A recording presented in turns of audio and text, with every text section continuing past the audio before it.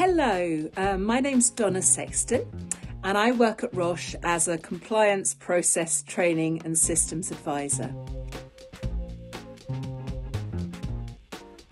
My job involves supporting people um, in my department who are running clinical trials in the UK.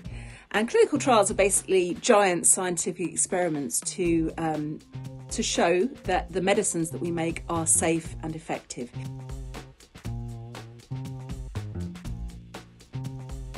I would say one of the biggest ones is around problem solving.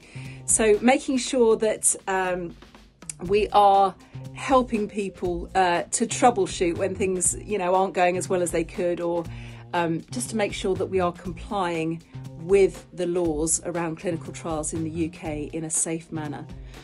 So that's a big part of what I do. Um, also, teamwork.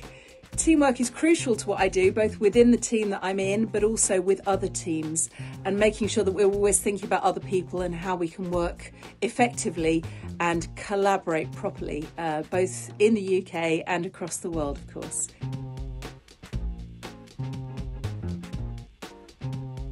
Obviously, I do love science. Um, and I still get to do some sciencey stuff. So I get to learn about the molecules and the therapeutic areas that we're working on. But also, I have a big passion for people. So, enjoying working uh, with people directly in my department. So, talking to people a lot, communicating with people, helping people out.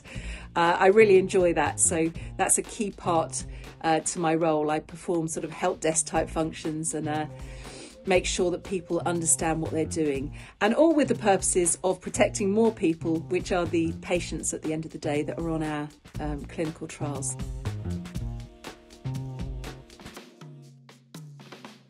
I did study sciences at school. I also did other things. Um, I liked French as well. I did uh, home economics, which is now called food technology, so I can cook too.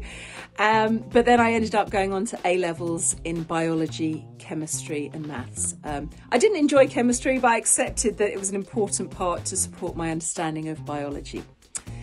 I then went on to university at the University of Bradford up in Yorkshire and I studied biomedical sciences um, with a specialism in cellular pathology.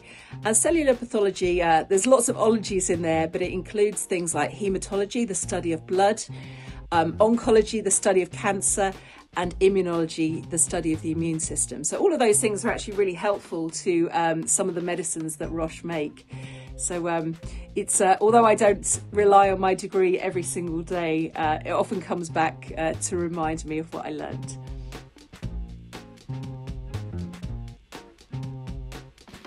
It's a really nice working environment. There's some um, very smart uh, very lovely people that I work with, and the culture is amazing. So, um, so everyone works as one big team, whether you're based in a particular country or whether you're working globally. Um, it's just a really nice working environment with lots of lovely people.